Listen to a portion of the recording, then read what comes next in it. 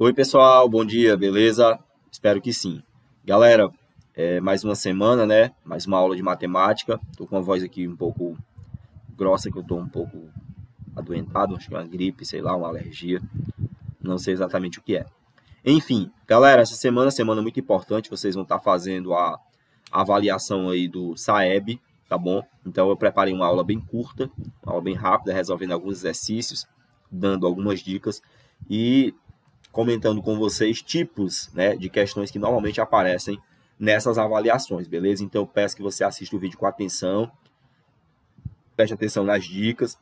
Depois, na plataforma tem uma, um exercício de revisão para vocês treinarem e depois vocês vão com tudo e se garantam lá na prova, beleza? Então bora lá para a aula. É, um exemplo de questão, pessoal, que normalmente aparece nesse tipo de avaliação é esse aqui, tá? Nessa aqui fala o seguinte, ó. Este é o mapa de um bairro cujos quarteirões são quadrados de 100 metros de lado, beleza? Quarteirões quadrados, 100 metros de lado. Então tá aqui um quadrado, o lado dele é 100 metros. Aí ele pede para a gente marcar a afirmação falsa. A afirmação falsa. Uma dessas quatro afirmações aqui é falsa, então tem três que são verdadeiras. É, no item A, para ir de carro de A até B, percorreu-se no mínimo 400 metros. Aqui tem quilômetros, pessoal, mas é um de digitação da própria questão, tá?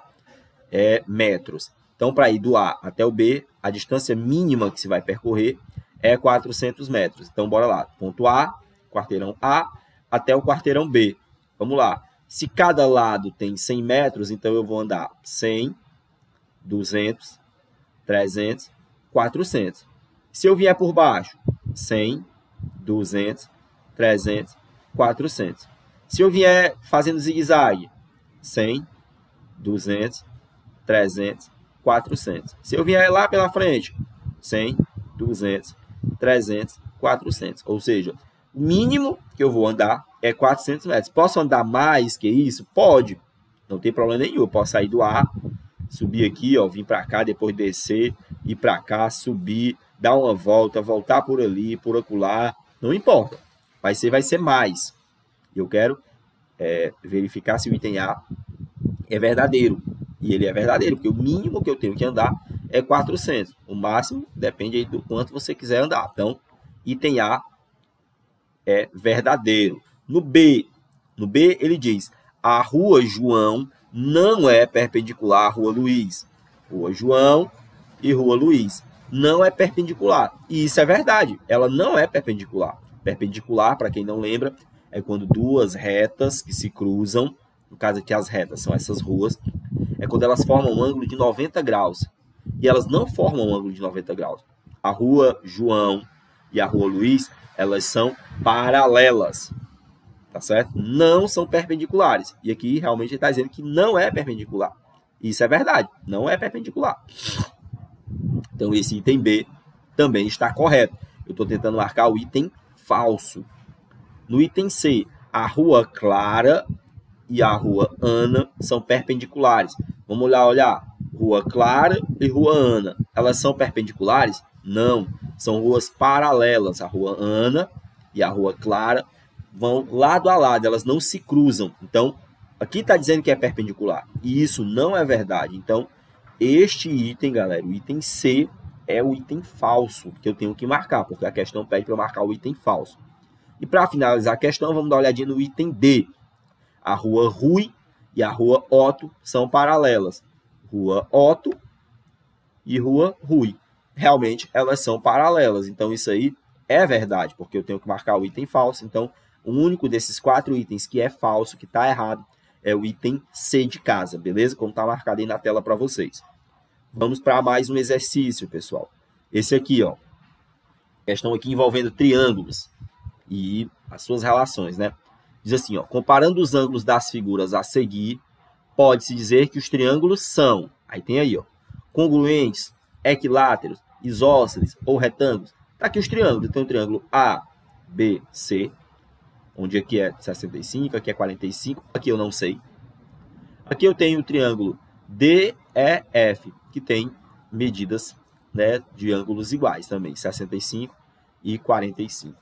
Nós sabemos, né, eu espero que vocês saibam, que a soma dos ângulos internos, ou seja, os ângulos de dentro de um, de um triângulo, tem que ser igual a 180 graus. Se aqui eu já tenho 45 e 65, vai dar 110. 45 e 65 dá 110. Então, este outro ângulo aqui tem que ser 80 graus. A mesma coisa aqui nesse triângulo. Eles têm os lados internos iguais. E aí, esses triângulos são congruentes? São equiláteros? São isósceles? Ou são retângulos? Apenas um aí é verdadeiro. Vamos lembrar o que é cada uma dessas coisas, tá? Matemática, assim como a maioria das ciências, ela se pega pela definição. Não é uma questão difícil. Agora, se você não sabe o que é cada uma dessas coisas, vai ficar difícil. Então, o que é congruente? O que é equilátero? O que é isósceles? O que é retângulo? Vamos analisar. Quando dois pares de lados correspondentes, o respectivo ângulo entre eles formados, são congruentes, tá bom? Os triângulos são congruentes quando obedecem essa regra. Quando eu tenho dois pares de lados e o respectivo ângulos congruentes. Congruente quer dizer que tem a mesma medida. Então, olhe para esses ângulos e olhe para esses. Tem a mesma medida. Então, isso quer dizer que é congruente. Triângulo equilátero. Triângulo equilátero é uma figura plana, né? Que é composta por três lados e três ângulos congruentes. Ou seja, os três ângulos e os três lados têm que ter a mesma medida. E isso não é verdade. Então, eu já elimino o item B. O item B não é verdade. Porque, ó, 65 45 não é a mesma medida. Então, esse triângulo não é equilátero. O triângulo equilátero ele tem os três lados e os três ângulos iguais, ok? A item C, isósceles, que é um triângulo isósceles. É uma figura que tem três lados, sendo que dois deles possuem a mesma medida. E isso aí, galera, não é verdade, porque se os ângulos são diferentes, as medidas são diferentes. Aqui a gente viu que o ângulo é 45, 45 aqui em cima, 65 e 70. Então, os ângulos são diferentes, consequentemente, as medidas são diferentes. Então, esses triângulos não podem ser isósceles. Elimina também o item C. Triângulo retângulo. Esse é o triângulo mais fácil, é aquele triângulo em que tem um lado que mede 90 graus, ou seja, tem um ângulo reto. Daí tá vem a expressão retângulo, como se fosse aqui essa tela, né? Eu corto daqui, ó, até aqui do outro lado embaixo, corto aqui a diagonal, eu formo um triângulo retângulo. Então, essa essas quatro informações aqui são relativas a essa. A gente já viu que não é o B, não é equilátero, porque não tem três lados iguais. Não é isósceles, porque não tem dois lados iguais. E não é retângulo, porque não tem um ângulo reto. Só sobrou, então, o item A. Esses dois triângulos, eles são congruentes, tá bom? Eles têm as mesmas medidas, tá bom? Você pode colocar um sobre o outro aí e fica legal. Fica encaixado bem direitinho. Tranquilo, galera? Então, aí solução aí do item. Solução é o item A para essa questão. Beleza? Bora para mais uma questão. Essa questão traz mais uma vez um triângulo. Diz assim, ó. Ao arrumar a mesa para o jantar, Paula, Paula dobrou o guardanapo em forma de um triângulo isósceles. Olha um triângulo isósceles, ó. Esses dois lados aqui, ó, esse e esse, são iguais. Os ângulos da base são iguais também, certo? E essa, esse, esse lado aqui diferente, ele é chamado de base, tá bom? Essa é a base e esses são os dois lados, tá bom? A distância dessa ponta até a base é chamado de altura. Então, tem aqui um triângulo isósceles, triângulo que tem dois lados e dois ângulos da base igual. Pergunta: qual é o valor do ângulo A? Galera, nós vimos que a soma dos ângulos internos de um triângulo tem que ser 180 graus. Então, quer dizer que 70 graus mais 70 graus mais este ângulo A tem que ser 180. Então, 70 graus mais 70 graus mais A igual 180. Ora, 70 mais 70 é 140. Então, 140 mais A tem que ser 180. Isso quer dizer que o A é o 180 menos o 140. Pega o 140 que está aqui, ó, joga ele para depois de igualdade, ele vai subtraindo, fica 180 menos 140, ok? 180 menos 140, 80, desculpa, 40 graus. Eu fiquei olhando aqui para 80 falei 80. 40 graus, né? 180 menos 140 fica 40. Então, esse ângulozinho aqui em cima é 40. 70, 70 e 40 vai formar o nosso 180. Beleza? Item correto. Item B de bola. Beleza, galera? Então, mais uma questãozinha aí, tá certo? Vamos para mais uma. Lembrando, pessoal, que você pode pausar esse vídeo, voltar, tirar um print, mandar para mim a pergunta, caso você tenha dúvida, beleza? É, se você está assistindo esse vídeo, sabe de um amigo que não está assistindo as aulas, que está aí é, desanimado, desmotivado, manda o link lá para ele, dá essa força e diz, ei meu irmão, desanima não, bora lá estudar, isso é o futuro, tá bom galera? Então, vamos lá para mais uma questão, essa aqui envolvendo circunferências.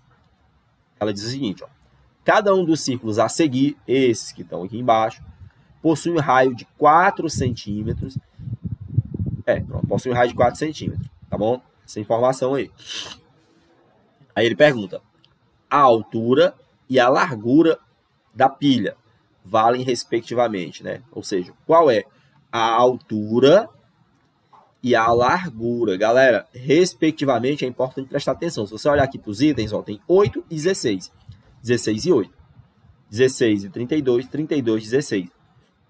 Só que não é a mesma coisa, porque ele está falando respectivamente, ou seja, nessa ordem.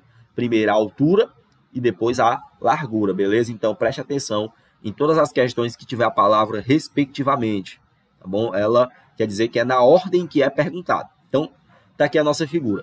Ele informa, pessoal, que o raio é 4 centímetros. Se o raio é 4 centímetros, o diâmetro vai ser 8. Lembrando, o que é o raio? O raio é a distância do centro até a borda. Isso é o raio. E o que é o diâmetro? É o dobro do raio. É a distância de uma borda até a outra passando pelo meio. Beleza? Então, do meio para a borda tem 4, de um lado a outro tem 8. Então, se de um lado a outro tem 8, essas duas juntas serão 8 mais 8, ou seja, 16 centímetros. Então, já achei aqui ó, a altura 16. Quando você faz isso, você já ganhou a questão. Você já elimina aqui o item A, ó, porque no item A diz que a altura é 8, e já elimina o item D, porque no item D ele diz que a altura é 32. Então só pode ser o B e o C. E aí, observe que se a altura é 16, o comprimento aqui, a largura, vai ser maior do que 16. Então também não pode ser o item C. Porque o item C mostra a largura sendo 8, ou seja, menor do que a altura. E a altura já é 16, esse, essa parte aqui de baixo é maior. Então, se aqui é 16, aqui embaixo tem que ser maior, beleza? Embaixo, esse comprimento aqui de quatro círculos desses juntos. Eu vi que um desses tem 8. Então, é 8, 8, 8 e 8.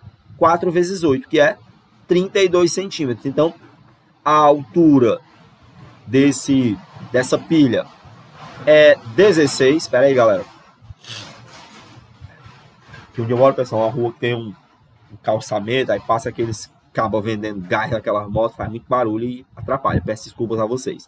Então, aqui ó, 16 e aqui 32, beleza? Então, item correto, item C, altura 16 e largura 32. Tranquilo?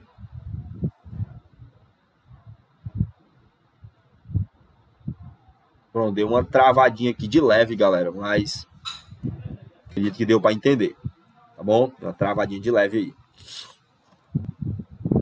Próxima questão e última. Diz assim, ó. Considerando que a reta numérica abaixo, que na reta numérica abaixo, o ponto K corresponde ao número inteiro 5 e o ponto D ao número inteiro menos 2. Indique o ponto correspondente ao número inteiro 1. Ou seja, ele quer que a gente diga aí qual dessas letrinhas vai representar o número 1, beleza? Então, eu tenho aqui menos 2, é só você contar. Menos 2 até o 5, o que, que eu tenho? Eu tenho menos 2, o menos 1, o 0, 1, 2, 3, 4 e 5. É isso, ó. Tá aqui os pontos, ó. Menos 2, aí antes do menos 2, menos 1. Antes dele, 0. Aí beleza, eu cheguei no zero. Depois do zero, um. Depois vem o 2, 3, 4 e 5. Então, coloquei os pontos aí. Qual dessas letrinhas representa o número 1? É a letrinha G, beleza? Então, o ponto G aí é que representa o número 1. Beleza, galera? Então, é isso, tá certo? Bons estudos a vocês, é uma boa prova e qualquer dúvida é só entrar em contato comigo, tá bom? Valeu, galera. Tchauzinho.